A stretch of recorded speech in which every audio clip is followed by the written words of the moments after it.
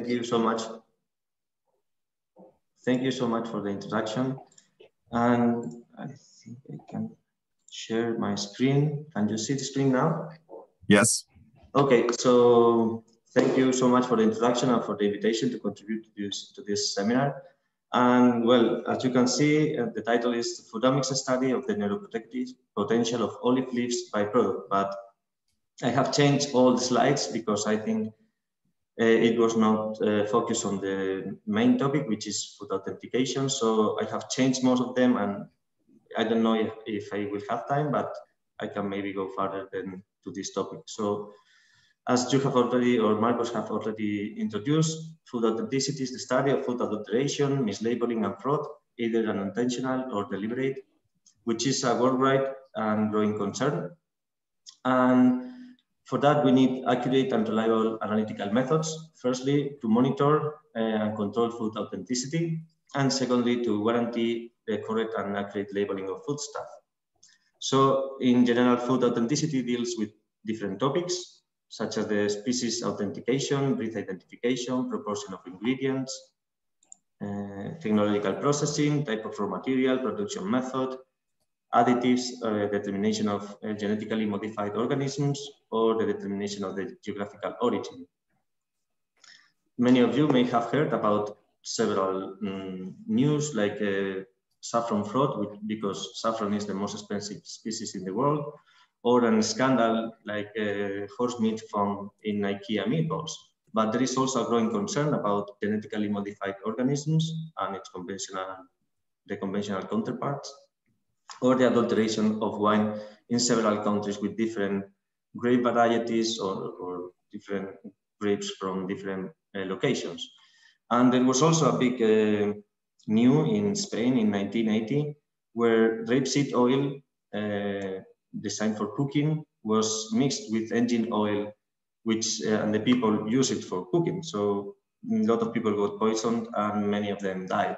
So this is uh, about food security, but also food authenticity because these uh, two oils were mixed.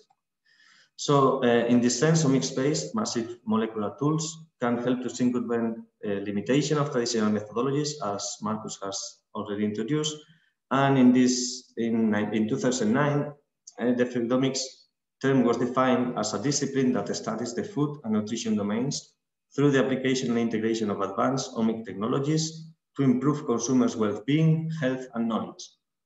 Uh, this term was first de uh, defined by Professor Cifuentes, which is the head of my laboratory in several journals.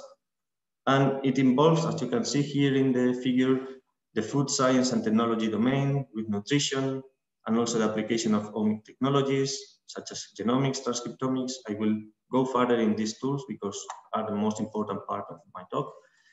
To determine or study the food authenticity, food traceability, food quality and security, and food bioactivity. This is my main topic, but here I have, as I explained, I've changed the talk.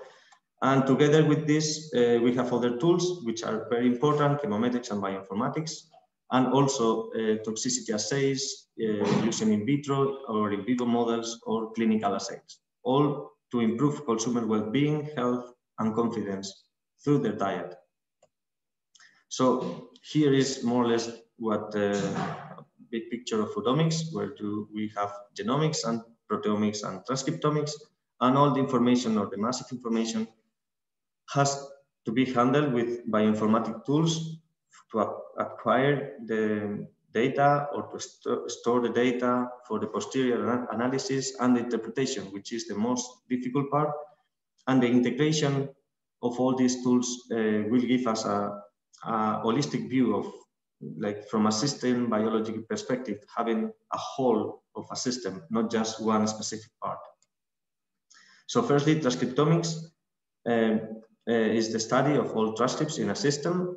It involves the notation of mRNAs or non-coding RNAs, but also the determination of transcripts, uh, structure, the determination of splicing phenomena, and the quantification of transcripts in different conditions. This could be, um, for instance, comparing genetically modified organisms against conventional growing organisms.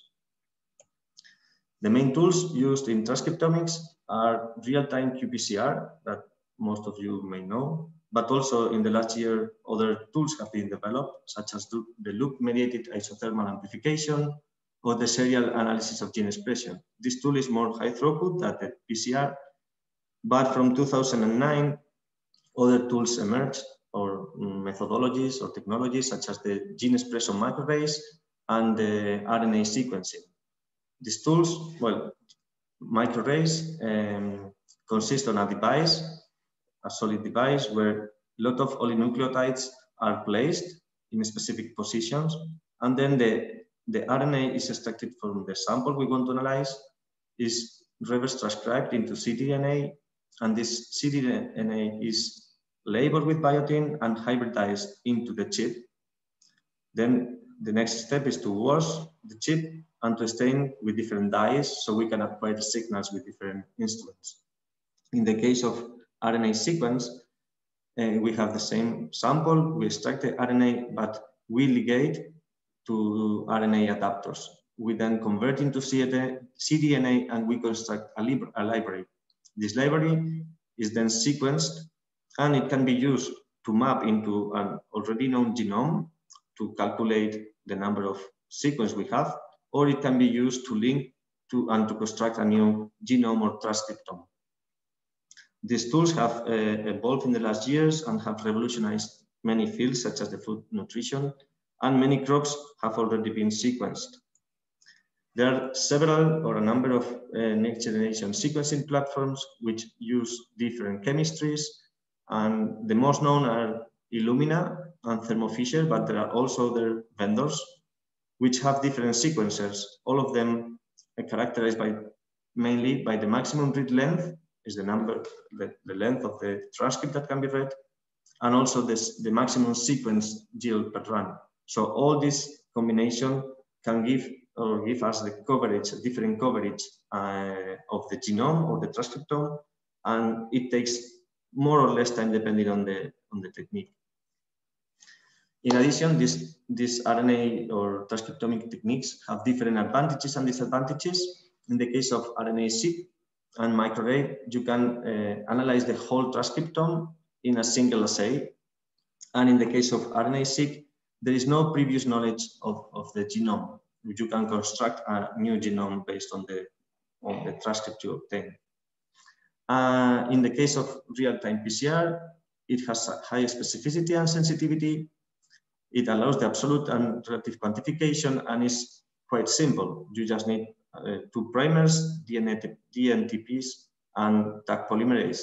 However, the problem is that you cannot apply it for uh, to analyze a, a high number of genes, which is the opposite to RNA-seq and microarrays. However, these two newest technologies are still quite expensive and it takes quite some time to sequence the data or sequence the, the genome or the transcriptome. And also it only allows, well, and the data uh, acquisition and storage and data processing, it takes uh, some time. So there are some advantages and disadvantages in both of them.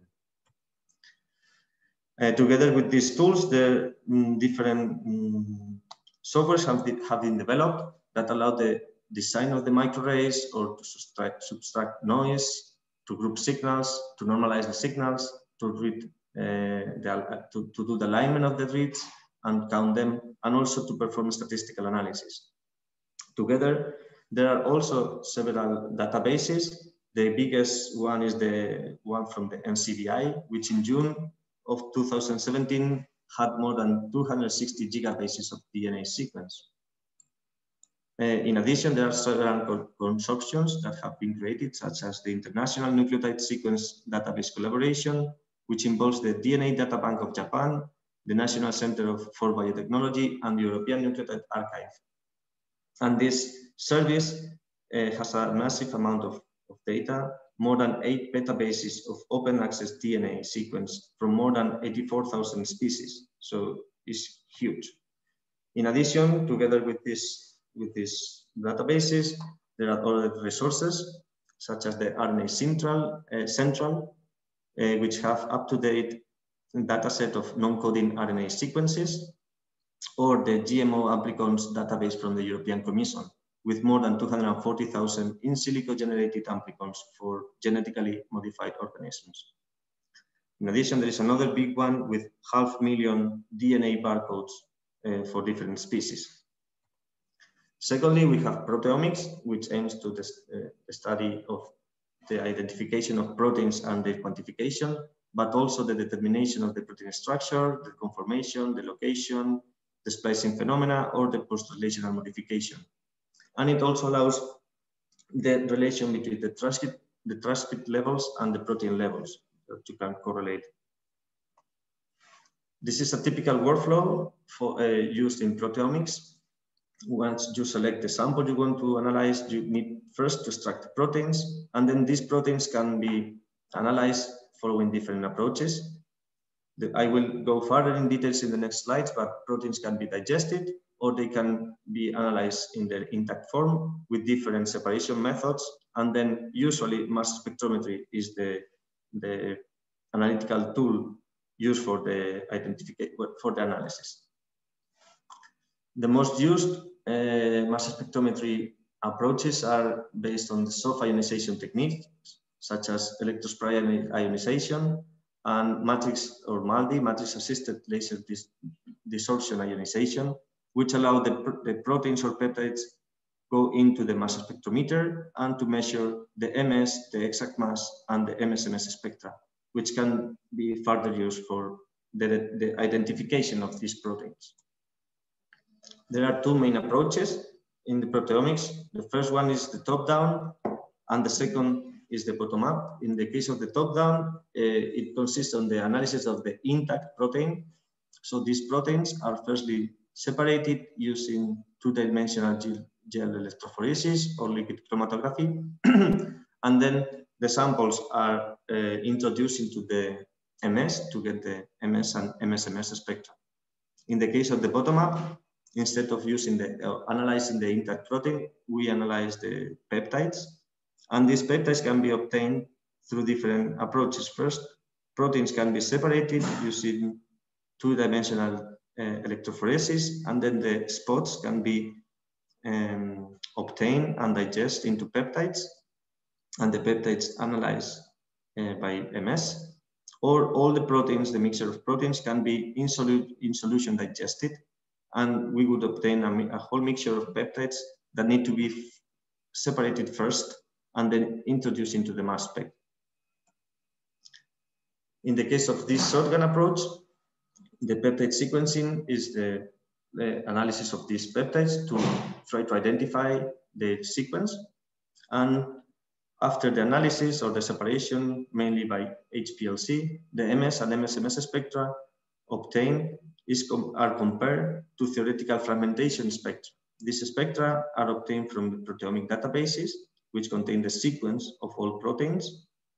And these proteins can be in silico digested in possible peptides using maybe trypsin. So you will have a possible peptide. And also this can be in silico fragmented to get different spectra. So the combination of the theoretical spectra and the experimental spectra can give us the identity of the, of the peptide and then to go back and reconstruct the protein. For this, we need also several bioinformatic tools. First, to do the peak extraction of the ions in the MS, but also for the identification, quantification, determination of modifications, and statistical analysis.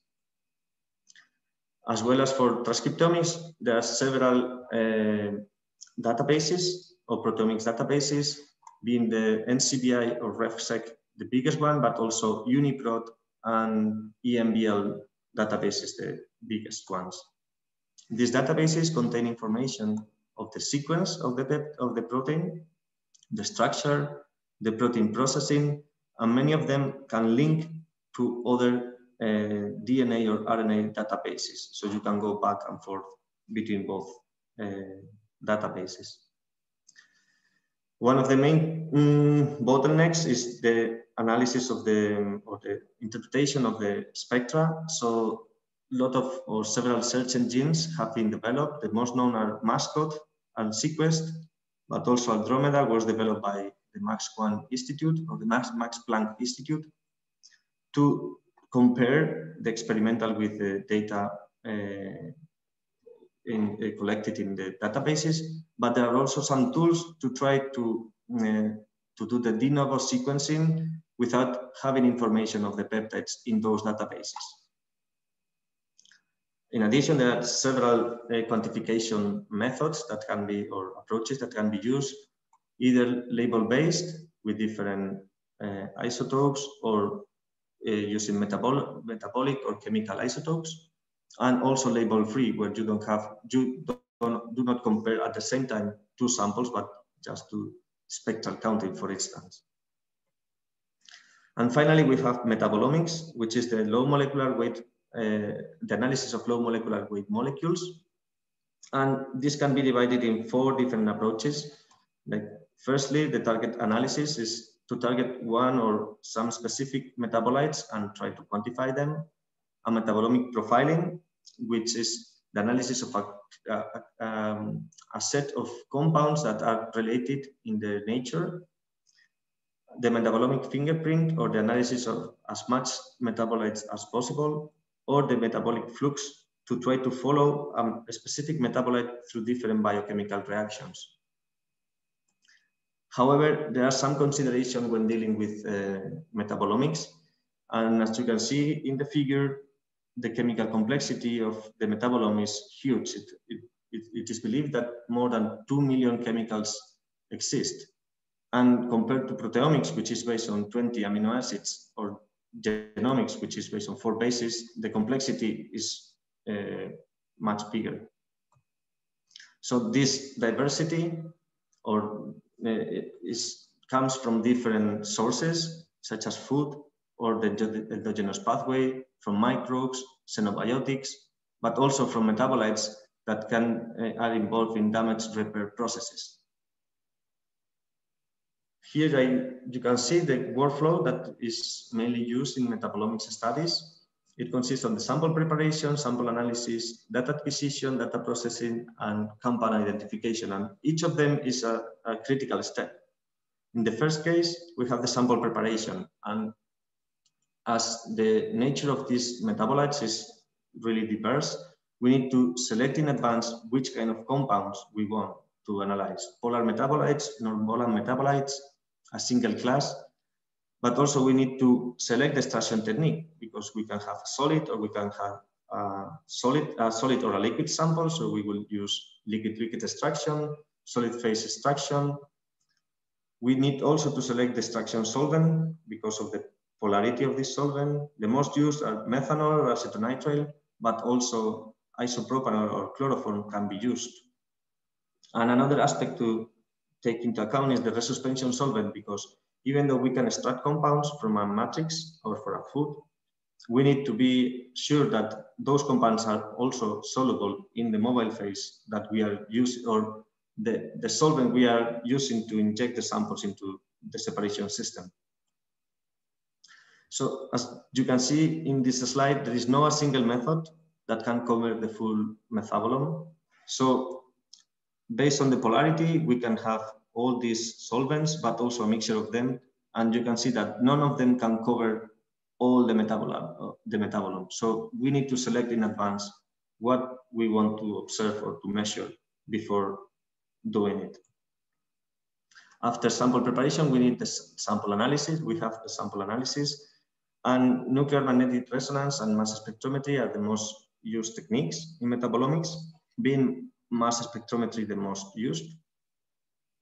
It is, that is because uh, it allows the, the wide range of concentration from nanomolar to picomolar, and also a high throughput analysis with more uh, up to 1000 metabolites.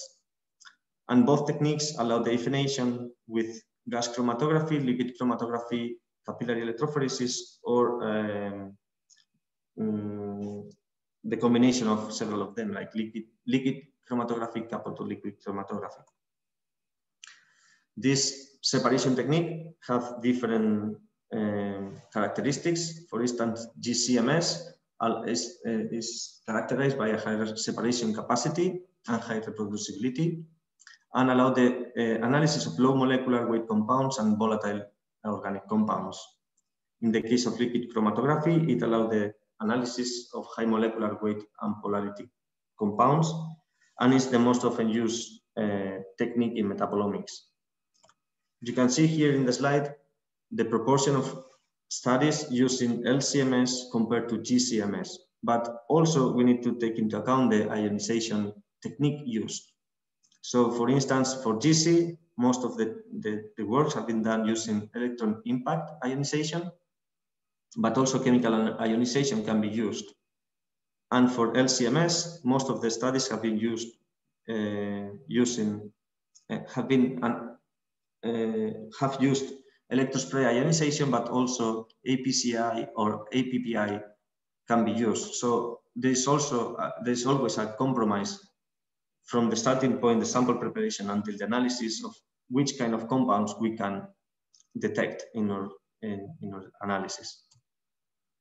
But furthermore, we have, uh, for instance, in HPLC, we can select different stationary phases. The most used is the reverse phase, which allows the analysis of medium polar and non-polar metabolites, such as triacylglycerols. But also we can use hydrophilic interaction chromatography, which allow the analysis of very polar metabolites such, such as amino acids or sugars. So there is a bunch of um, combination that we can, we can select to perform a metabolomics study. Metabolomics as well as proteomics and transcriptomics requires a lot of, uh, a lot of data processing and bioinformatics tools. First for peak deconvolution, isotoping, peak alignment and annotation, and for the comparison of the uh, isotopic profile and fragmentation patterns with data stored in metabolic, in metabolic databases. The two most used uh, platforms of softwares are XCMS and MZmine, which you can see here. They have more than, in some cases, more than 1,000 citations. They are both free access, but in the last years, other tools uh, have been developed, such as MS Dial. I mentioned this software because it was developed in the lab, in the laboratory uh, where I was in the USA, and it's quite easy to use and it's free access. And uh, I have used it quite uh, often and it works uh, great. But together with these tools, we have also mass spectral libraries, the same as for transcriptomics and metabolomics. These are some of the biggest ones, the Human Metabolome Database, or NIST, METLIN, and the Mass Bank of, of North America. And here you can see the amount of data that we can compare with. In METLIN, we have more than half million molecular standards with uh, MSMS data in positive and negative modes. In NIST 20, it was released last year with 1.3 million spectra, MSMS spectra from more than 21,000 compounds, or the Mass Bank of North America with more than 690,000 spectra, both from in silico and experimental data. So this, these uh, databases can be used with specific softwares to compare or experimental data, experimental exact ExactMass and experimental MSMS with those contained in the lab in the library, and we can get a list with the different hits. So we can try to identify all compounds. However, uh, as there are more than 2 million or more compounds in nature, none, not all of them are in the libraries or the databases. So Mm, most cases, we don't get a good result. So we have several unknowns, maybe like 70, 70% of our results are not known. So other tools have been developed for the interpretation of the spectra based on computational algorithms and quantum chemistry to try to identify the substructure and structure and get a hint about the metabolite that we want to analyze. So all these massive um, techniques or that high throughput techniques um, need to be processed with bioinformatic tools to normalize the data or to do multivariate analysis, to do correlation analysis, or to do univariate analysis. but also other specific tools have been developed for the interpretation and integration of all this data. For instance, the functional enrichment analysis allows to the analysis of classes of genes that are overrepresented in a set of genes or proteins. Causal analysis allows to reconstruct causal gene networks. Pathway analysis that uh, allow the identification of molecular uh, of segments of the molecular physiology machinery, and more specific for metabolomics, this ChemRICH analysis that allowed the chemical similarity enrichment between the compounds that have been identified. So taking into account all these um, techniques and softwares, we can use them to do uh, to characterize food. And in the case of food authenticity, it, they have been quite um, oftenly used.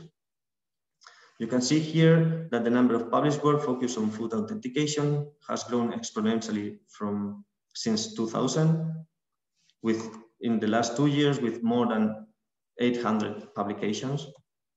Being molecular and chromatographic uh, methods, the major approaches used for food authentication. Also, you can see here isotopic, which is connected to the previous talk. In, and you can see also here the trend of molecular and chromatographic uh, techniques that have increased from 2000. So these tools, they are, uh, I mean, quite oftenly used. So I have also collected some information about the studies um, of, of the main products uh, analyzed for, for authentication purposes. And you can see that meat, seafood, dairy products, plant origin, genetically modified organisms, wine, honey, and others, such as saffron or coffee, are the most frequently analyzed. And you can see here that genomics, proteomics, and metabolomics have been used, for instance, for the detection of species in meat mixtures, or for the detection of pork meat adulteration using next, next generation sequencing, but also proteomics to detect different kind of meat in food products or for the species identification based on the uh, metabolomic fingerprint. In the case of seafood, genomics have been used for the identification of mollusks and fish species or for the, or for the identification of seafood species in surimi to, to avoid uh, allergic uh, reactions. So people need to know which is the composition of, of of these surimi products. Also, proteomics have, has been used for the determination of different species or the differentiation of wild and farm fish. In the case of dairy products, several methods have been developed for the detection of cow milk in adulteration in buffalo milk or the detection of different milk in cheese, as well as for the identification of thermal treatment in milk or for the, or the authentication of protected designation of origin using, for instance, GCMS with principal component analysis. In the case of plant origin, genomics has been used for the authentication of seven carrier species using DNA barcoding, or metabolomics has been used for the characterization or separation between organic and conventional products or to study saffron authenticity and, and, adulteration based on liquid chromatographic coupled to mass spectrometry. In the case of GM, GMOs, uh, they have been uh, quite uh, well studied to identify genetically modified the genetically modified genes or to compare the expression of different proteins between two conditions in genetically modified mice compared to the non-genetically modified. Or for instance, in wine, uh, genomics has been used for the assessment on, of wine authenticity or the discrimination of different Croatian wines and the determination of the geographical origin. So in conclusion, genomics, transcriptomics, and proteomics and metabolomics tools represent a promising alternative to classical food analysis because of their sensitivity, high throughput, multiplexing, robustness, and discriminating power. And the tools such as next generation sequencing, PCR, nuclear magnetic resonance, and mass spectrometry have already demonstrated to be appropriate for assessing the main topics related to food authentication, such as species authentication, origin determination, addition of non-declared ingredients, production method authentication, or GMO detection. Thank you very much for your attention. Oh, dear Alberto, thank you very much for this very inspiring talk, uh, very broad uh, topics and very broad strategies. Um, I was wondering about, um, do you also work on data fusion? So data to fusion. bring data fusion, so to bring together data from different disciplines. Mm -hmm. Yes. Yes. To get, my, a, to get a better resolved picture at the end. Yes, my main aim, well, the, my main line of invest, investigation is uh, involves the analysis of bioactive compounds, and we not just food, but how this food affect uh, health or different systems. In the case of Alzheimer's disease, for instance, so we try to connect protein expression and transcript or transcriptomics with metabolomics. So we try to connect both, but that is a, the biggest problem right now because sometimes in transcriptomics you can get you can you have the expression of the whole transcriptome and in proteomics, you have maybe 1,000 proteins. However, in metabolomics, maybe you can identify a few hundred or maybe 150 metabolites. So the, starting from 20,000 or going to 1,000 and then going to 150, it, mm, it, it is not balanced. So it's quite difficult, quite difficult, but we have found some interesting relations. So but would it be